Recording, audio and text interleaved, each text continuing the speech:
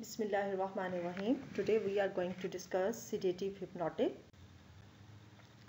What are the objectives of this lecture? At the end of lecture, students should be able to identify major sedative hypnotic drugs, recall the significant pharmacokinetic features of these drugs. You should be able to describe the mechanism of action of drugs and usual disorders Drugs are frequently required to provide adequate sedation and sleep. The substances employed for this kind of therapy are classified as hypnotics and sedatives. What does sedative means? Sedative is a substance that reduces anxiety. Older sedative hypnotic drugs depress the CNS in a dose dependent fashion. Means as we are going to increase the dose, there will be increased CNS depression means progressively producing sedation. Here it's a dose dependent depression of CNS is shown by a graph in which barbiturates and alcohol will have a steeper response. That as we are going to increase the dose there will be more and more CNS depression. While benzodiazepines and newer sedative hypnotic drugs they will attain a plateau at an earlier level. So they are safer drugs as compared to older drugs like barbiturates and alcohol. Here we will classify the sedative and hypnotics. First of all, group first one is benzodiazepines, benzodiazepines and then barbiturates and then miscellaneous agents. Benzodiazepines and barbiturates, they can be classified according to their duration of action and they can also be classified according to their clinical uses. Benzodiazepines are classified as short action triazolam, intermediate action alprazolam, long acting flurazepam and barbiturates ultra short acting thiopental, short acting secobarbital and intermediate acting amobarbital, long acting phenobarbital and phenobarbital. Miscellaneous agents we have buspirone, chloral hydrate, zopiclone, ramelteon, zaleplon and here we have classified benzodiazepines according to their clinical uses. They can be classified as hypnotic benzodiazepines, anxiolytic benzodiazepines and anticonvulsants benzodiazepines. Discuss benzodiazepines. What are benzodiazepines? Benzodiazepines are anxiolytic, hypnotic and centrally acting muscle relaxants and they have anticonvulsant properties as well. Their actions are mediated through the enhancement of inherent Older sedative hypnotic drugs depress the CNS in a dose dependent fashion. Means as we are going to increase the dose, there will be increased CNS depression. Means progressively producing sedation, sleep, unconsciousness, surgical anesthesia, coma and ultimately fatal depression of respiration and cardiovascular regulation.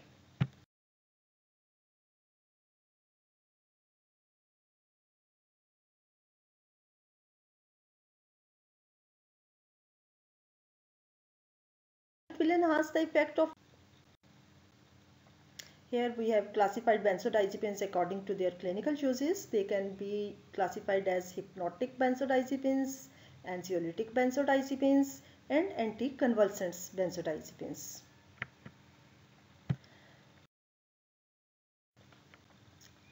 Now what are the pharmacological actions of benzodiazepines? The pharmacological actions of uh, benzodiazepines are that uh, it relieves anxiety by acting on hippocampus and nucleus amygdala as I have told you in the beginning of uh, the lecture that uh, GABA A receptors are also classified or divided into different subtypes depending upon the location of uh, receptor mission. They have muscle relaxing property Benzodiazepines by increasing the presynaptic inhibition in the spinal cord produce skeletal muscle relaxation in spastic condition like cerebral palsy. They have respiratory and CVS depressant effect but lesser than barbiturates. Pharmacokinetics, it is well absorbed orally, binds strongly to proteins, lipid soluble, It's lipid soluble, so it has a large volume of distribution. It is lipid soluble, so it can cross the placental barrier easily and it can be secreted. Then metabolism, mostly benzodiazepines are metabolized in liver and excreted as glucuronide conjugate kidney. What are the clinical uses of benzodiazepines? Benzodiazepines are used as anxiolytic agents in acute and chronic anxiety states, particularly accompanying some form of depression and schizophrenia. The drugs should not be used to relieve stress of everyday life to avoid risk of addiction. They can be used as hypnotics and also used in now we will discuss the adverse effects. Adverse effects are uh, drowsiness, confusion, amnesia, especially anterograde uh, amnesia and uh, impaired coordination and uh, long lasting hangover and development of dependence are well known adverse effects of benzodiazepine. Uh, if there is overdosage of benzodiazepine, we have a very good antagonist or a drug or a therapy for uh, management of overdosage of benzodiazepine. Uh, flumazenil is a GABA receptor for the uh, Z drugs as binding site of flumazenil, benzodiazepine and Z drugs is almost same. Here is barbiturates. Barbiturates depress at all levels in a dose dependent fashion. As we will increase the dose, it may lead to from sedation to even death. So used only as anticonvulsant and anesthetic agent, not a safe drug, kidney. What are the clinical uses of benzodiazepines? Benzodiazepines are used as anxiolytic agents in acute and chronic anxiety states, particularly accompanying some form of depression and schizophrenia. The drugs should not be used to relieve stress of everyday life to avoid risk of um, as we have discussed already the mechanism of action of benzodiazepine, now we will uh, discuss the mechanism of action of barbiturates. Barbiturates will, as we have discussed that benzodiazepine will increase the frequency of chloride channel opening, while barbiturate will increase the duration of chloride channel opening. The main difference between benzodiazepine and barbiturates. Benzodiazepines are going to increase the frequency of chloride channel opening while barbiturates are increasing the duration of which it can depress CNS to a great extent. How? Um, CNS depression. Pharmacokinetics, it is highly lipid soluble, metabolized in liver and here it's a dose dependent depression of CNS is shown by a graph in which barbiturates and alcohol will have a steeper response that as we are going to increase the dose there will be more and more CNS depression. What are the adverse effects of barbiturates? It has lot of side effects, lot of adverse effects which are very harmful. So you should all be very careful while prescribing barbiturates they are not uh, among safer drugs. They can produce dizziness, drowsiness, impaired judgment, disorientation, tolerance.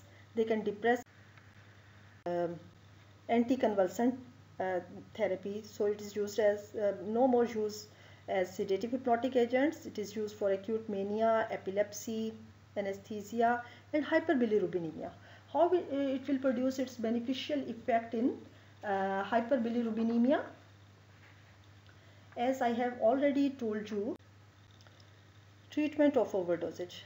Treatment of overdosage or poisoning of barbiturate is not very uh, encouraging. We just have to support the respiration and circul uh, circulation. And as you know barbiturate is a weak acid so by using the ion trapping principle we can alkalinize the urine to excrete out or to facilitate the excretion of barbiturates and in some severe cases we have to go for hemodialysis or peritoneal dialysis. Now we will discuss buspirone. It's a newer anti uh, uh, anxiety or anxiolytic drug it will act as a partial agonist on 5-hydroxytryptamine 1A subtype receptor to relieve anxiety. It is rapidly absorbed orally and metabolized by first pass effect. It is most effective in mild. Side effects are hypothermia, increased prolactin and growth hormone, dizziness, nervousness and lightheadedness. Buspirone is uh, a safer drug as compared to benzodiazepine uh, because it just it will not impair the motor coordination. What are the adverse effects of what is the mechanism of action of Z drugs? As I have already told you in uh, benzodiazepines mechanism of action that uh, Z drugs, benzodiazepines and flumazenil, they have all. What are the advantages of Z drugs? Why Z drugs are preferred over other um, hypnotic drugs? They will produce natural sleep without alteration of rapid eye movement sleep, which is the main aim of therapy. Minimal hangover effect, short duration of action, less chances of tolerance and dependence, very important. And effects can be antagonized by flumazenil, luckily. Now we have another um, hypnotic agent which is uh, melatonin agonist. As all of you know that melatonin is normally produced by pineal gland. Side effects are minimal, dizziness, fatigue and uh, uh, it can be clinically used in jet lag and ideal hypnotic for workers because they will regulate your sleep cycle. We have another hypnotic agent, uh, orexin uh, antagonist. You know orexin is normally found in hypothalamus which is responsible for wakefulness. If we can antagonize the effect of orexin, we will achieve